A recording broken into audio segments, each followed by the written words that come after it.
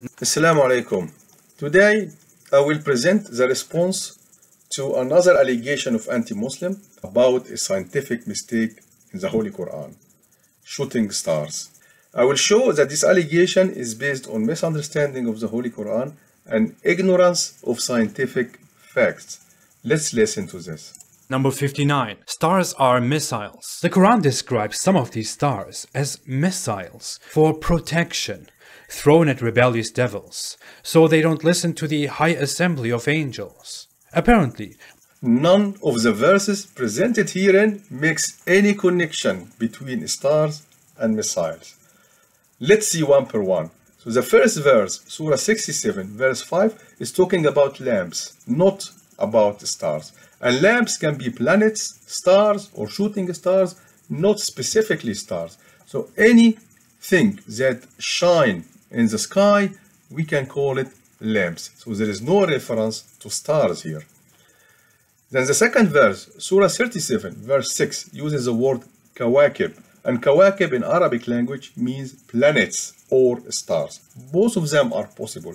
Indeed, we can see that one of the translations uses the word stars and the other translations uses the word planets, as you can see from the reference below. And the third verse, Surah 15, verse 18, does not talk about stars at all or about planets at all, but only about a visible flame.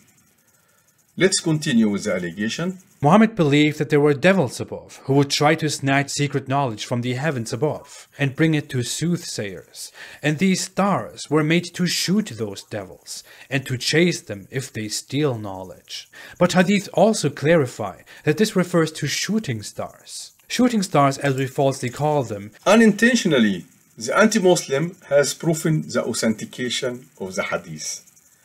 So what was meant by the Quranic verses was indeed shooting stars. So the hadith is explaining the Holy Quran.